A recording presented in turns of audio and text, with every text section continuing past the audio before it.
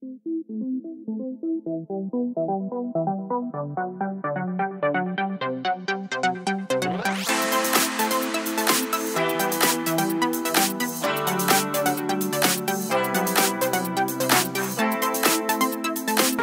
गर्मियों की दो महीने की छुट्टियाँ आ गई हैं। घर में सांस लेने का टाइम नहीं होता, काम कर कर के भी ख़त्म नहीं होता है। सोचा आज आपके साथ कुछ स्मार्ट वेज कुछ ऐसा मंथली रूटीन शेयर करूँ जहाँ मैं ग्रॉसरी भी अरेंज कर रही हूँ और घर के काम भी निपटा रही हूँ। कैसे? तो चलिए आपके साथ आज क्लीनिंग मोटिवेशन शेयर करती हूँ।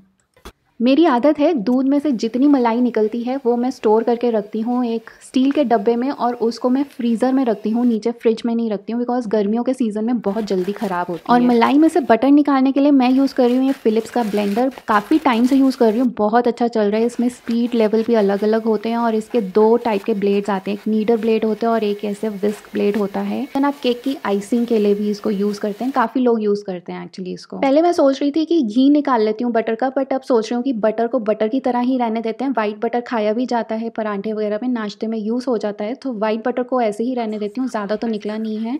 घी ऑलरेडी अभी घर में पड़ा है और चीज़ ख़त्म करने के लिए मुश्किल हो जाएगी। बटर अपने आप में लग तो चलो इस फ्रेश फ्रेश बटर के साथ वाइट मक्खन के साथ आज का नाश्ता भी करते हैं मस्त। मेरा तो फेवरेट है। किस किस का फेवरेट है ज़रा कॉमेंट करके बताओ। नमस्कार दोस्तों मैं रति स्वागत करती हूँ आपका होम ट्वीक चैनल पर जहाँ हम बात करते हैं घर और किचन से रिलेटेड कुछ ऐसे टिप्स एंड ट्रिक्स की होम हैक्स की जो हमारा रोज़मर्रा का काम आसान करते हैं। आज का ये मंथली रूटीन क्लीनिंग मोटिवेशन आपको पसंद आए ग्रॉसरी शॉपिंग पसंद आए अरेंजमेंट पसंद आए तो चैनल को ज़रूर सब्सक्राइब करना वीडियो को लाइक करना और कमेंट करके बताना कहाँ से मेरा वीडियो देख रहे हो और वाइट मक्खन किस किस को पसंद ये जितनी भी शॉपिंग है सारी मैंने ट्रिप के लिए शॉपिंग करी है। इस बारी मैं एक नया गैस स्टोव भी लेके आई हूँ टू बर्नर का। आपने हमेशा मेरे पास फोर बर्नर का गैस स्टोव देखा होगा। तो ये एक मैं ग्लास टॉप नया गैस स्टोव लेके आई हूँ और मैं अपनी कार में कुछ ऐसा कराने जा रही हूँ जो कि आगे कैंपिंग कुकिंग के काम आएगी बहुत इंटरेस्टिंग रोड ट्रिप होने वाला है और अगर जो सेटलमेंट मैं सोच रही हूँ, गाड़ी में वैसी बन गई तो भाई तो तो वारे न्यारे हो जाएँगे। आपको देख के भी मज़ा आएगा जो ट्रैवल व्लॉग्स उस टाइम आने वाले हैं। चैनल का लिंक आपके साथ डिस्क्रिप्शन बॉक्स में और चैनल में शेयर करती हूँ, जो ट्रैवल चैनल है। इस तरीके का एक नया सिलेंडर भी लेके आई हूँ। ये इंडेन का कॉम्पोजिट सिलेंडर है। बड़ी मुश्किल से मुझे बैंगलोर में मिला। कहीं नहीं मिल रहा था मतलब पूरा एक दिन सबको कॉल कर, करके ख़त्म कर दिया।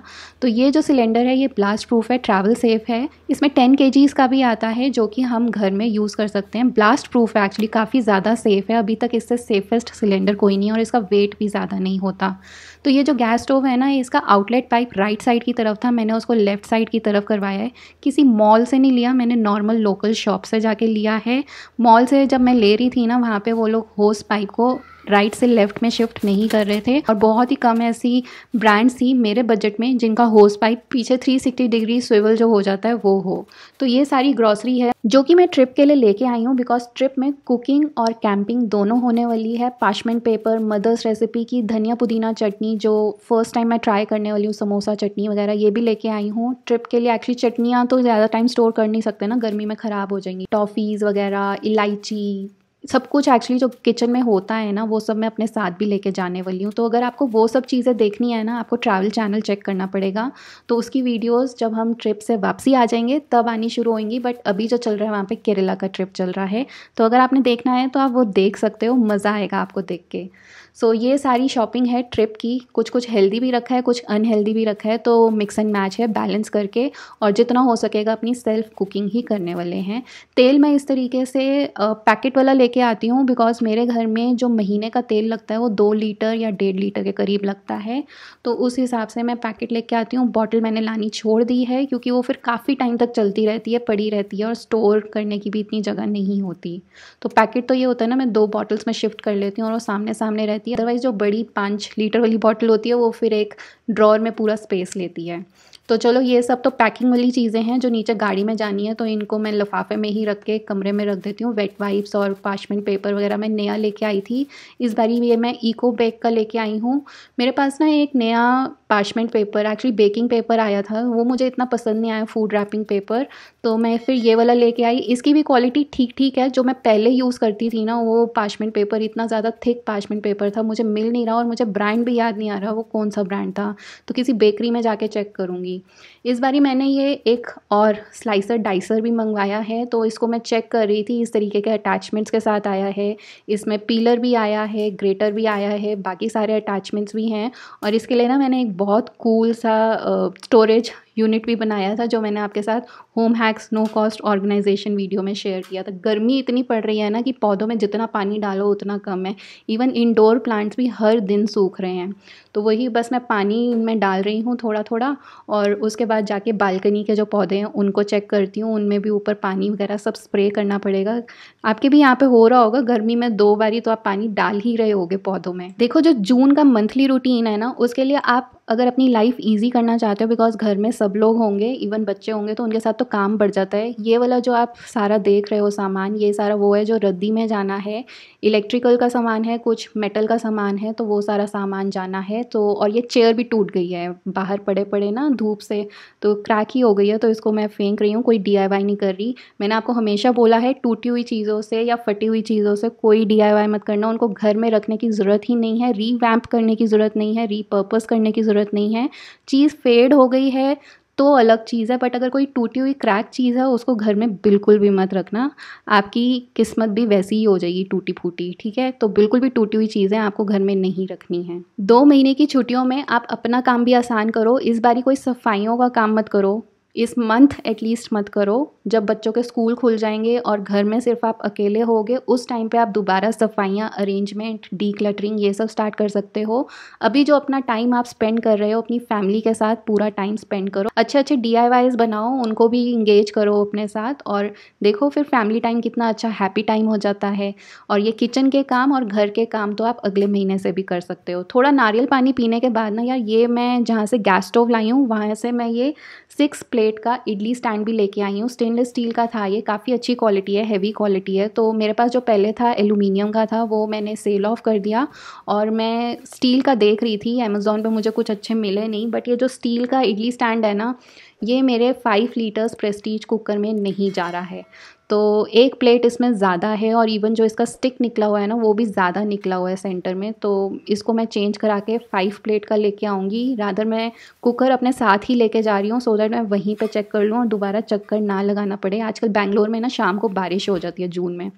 तो गर्मी भी पता नहीं इतनी पड़ रही है, क्या ही हो गया है। ये इडली स्टैंड भी मैं अपने साथ ट्रिप पे लेके जाने वाली हूँ। तो मैं कुकिंग और किचन यूटेंसिल्स और जो सारे ग्रॉसरी वगैरह कैसे अरेंज करूँगी, अगर वो देखना हो तो मुझे बताना। तो ये मैं राइस पफ का पूरा पैकेट लेके आई हूँ। घर पे मुझे नमकीन बनाना था राइस पफ का नमकीन। सो उसके लिए मैं पूरा एक पैकेट लेके आई हूँ। मखाने बनाने राइस पफ का नमकीन बनाना है पीनट्स और रोस्टेड चना वगैरह सब कुछ लेके आई हूँ। तो वही अभी रीफ़िल कर लेते हैं और बाद में जो मुझे साथ में थोड़े लेके जाने हों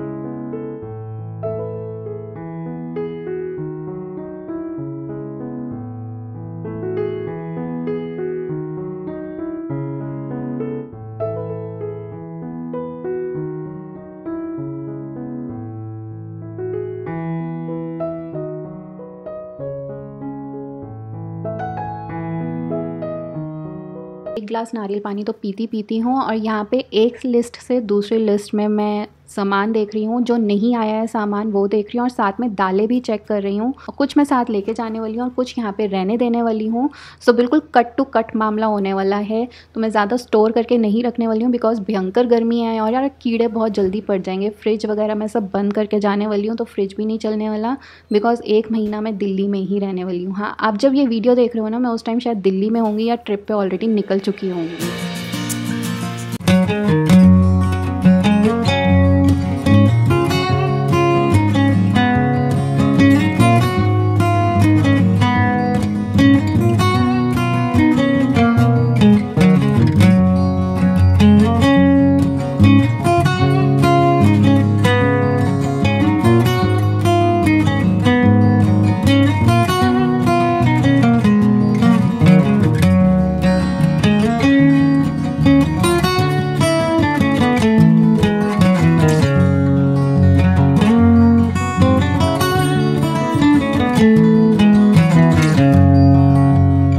है बिकॉज़ मुझे निकलने से पहले ना वीडियोस भी प्रिपेयर करनी है जो आप एक महीना इस चैनल पे देखने वाले हैं। तो चार पाँच वीडियोस मुझे प्रिपेयर ऑलरेडी करके जाने वाली हैं।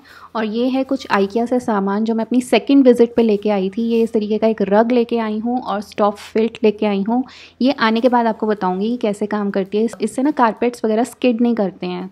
तो चिपके रहते हैं बिल्कुल। और आइकिया से ये मैं डस्टबिन्स भी लेके आई हूँ। इनको वेस्ट बिन्स बोलते हैं। नाइन्टी फाइव ईच का मुझे पड़ा बट इनको मैं एज अ प्लांटर यूज़ करने वाली हूँ। बड़े वाले प्लांटर्स के लिए और कुछ और छोटी छोटी चीज़ें लेके आई हूँ। सो ये कप्स हैं कुछ, जो कि मेरी सिस्टर ने मंगवाए हैं। तो उसके लिए हैं ये तीन कप्स और साथ में मैं एक प्रेशर पंप वैक्यूम पंप लेके आई हूँ, जो कि मेरे ट्रैवल पे यूज़ होने वाला है गर्म कपड़ों को स्टोर करने के लिए। वैक्यूम बैग्स मैंने आपके साथ एक होम हैक में शेयर किए थे तो मेरे पास वैक्यूम बैग्स हैं बट वैक्यूम क्लीनर हम साथ में लेके नहीं जा सकते। तो उसके लिए मैं वैक्यूम पंप लेके आई हूँ और ये वाला ब्रश जो कि बर्तन धोने के काम आएगा, और ये है एक कॉफ़ी विस्क जो कि कॉफ़ी दूध या कुछ भी हो ना ऐसा विस्क करने के काम आएगा जो जल्दी के काम होंगे। बैटरी ऑपरेटेड है तो इसको मैं ट्रैवल पे लेके जा सकती हूँ।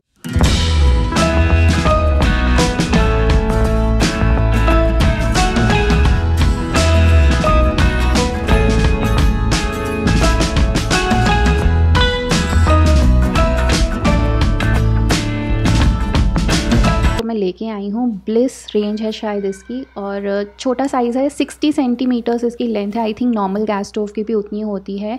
तो इसके जो बर्नर हैं दो हज़ार ब्रास बर्नर्स और स्क्रैच रेजिस्टेंट ग्लास है आईएसआई अप्रूव्ड है। पहले मुझे लगा शायद आईएसआई अप्रूव नहीं होगा और मुझे टू बर्नर वाला स्टोव ही चाहिए था। पहले मैं स्टील वाला देख रही थी बिकॉज़ उसका वेट हल्का होता है बट अगेन मुझे नहीं मिला। बहुत बड़े बड़े साइजेस के थे और इसमें टू ईयर्स की वारंटी है ग्लास पे भी और इवन दुकान पे जाने पे अगर इसमें कुछ ख़राब होता है होता है तो वो ठीक भी कर देंगे। तो वो, उन्होंने काफ़ी मुझे बोला, आप इसको ट्राई करके देखो अच्छा है।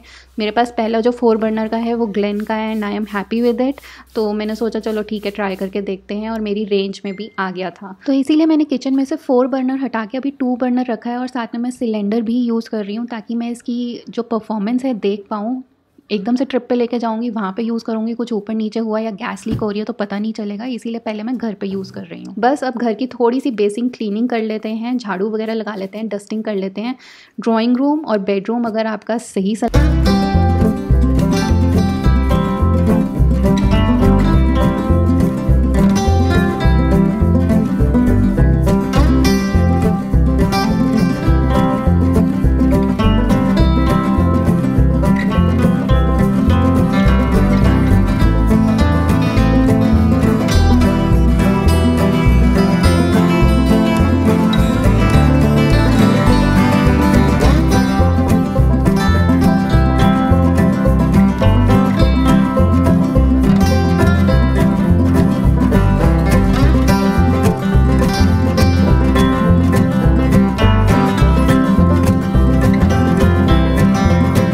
गलती से मेरे हस्बैंड ने डिश वॉशर में डाल दी और उसका हाल कुछ ऐसा हो गया है।